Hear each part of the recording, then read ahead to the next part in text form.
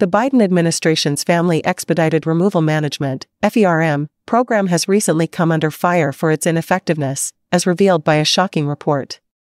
According to the New York Post, a staggering 90% of migrants enrolled in the program, designed to expedite the deportation process, have been allowed to remain in the United States.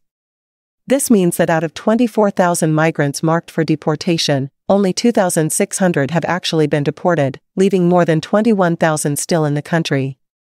Launched in May 2023, the FERM program was intended to address the high number of family units apprehended at the border, which has exceeded 840,000 since the program's inception.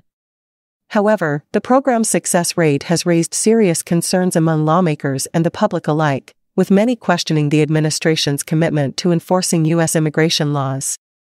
Top officials and critics, including Republican House Speaker Mike Johnson, are calling for immediate action to rectify the failing program and ensure that immigration laws are upheld. This controversy adds to the ongoing debate over border security and immigration policy in the United States.